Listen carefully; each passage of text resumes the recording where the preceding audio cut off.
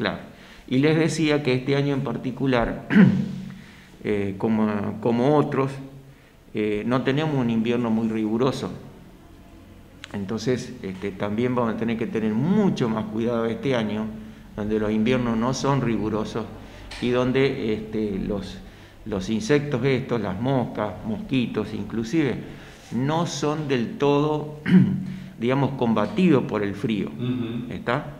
Sino que se resguardan este, y, sobreviven mucho más cantidad en número que años donde los inviernos son mucho más rigurosos.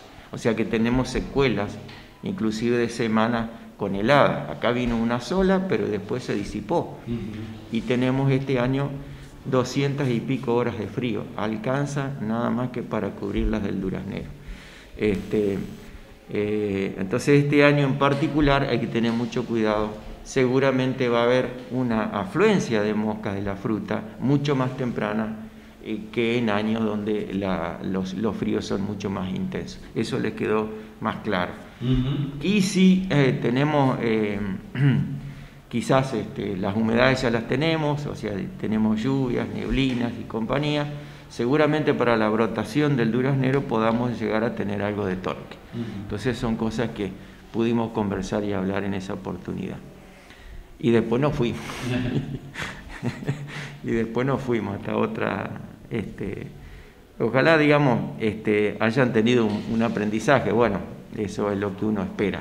Este, para eso se trabaja. Y para eso se trabaja, para eso se, digamos, se, pone ganas este, y, se hace todo esto. Este, felizmente yo vuelvo a repetir, gente que yo, yo creí que realmente tenía interés, este, lo tuvo porque fue. porque fue, porque vino. Y se sumaron algunas personas nuevas. Mm. Y eso también ayuda y colabora al, al ¿cómo es? A la, al, a la gestión en general, ¿no? Al, decir que, bueno, que hay cierta avidez por, por esto. No es común, es un rubro que no lo maneja, no se maneja acá a gran, eh, gran extensión, evidentemente, pero este, el saber no ocupa lugar y el, y el, saber hace que uno este, ame y quiera determinadas cosas que por ahí ni siquiera las conocía. Eso es así. Entonces, ¿Hay un próximo encuentro? ¿Ha establecido un próximo encuentro?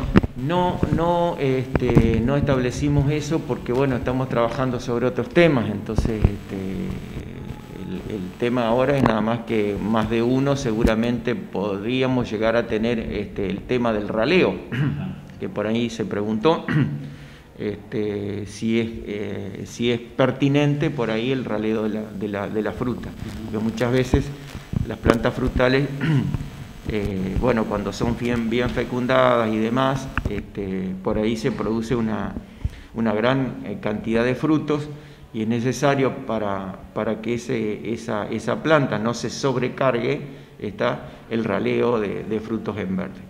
Este, pero eso es una cosa que, digamos muy específica. Quedó pendiente quizás y es muy específica.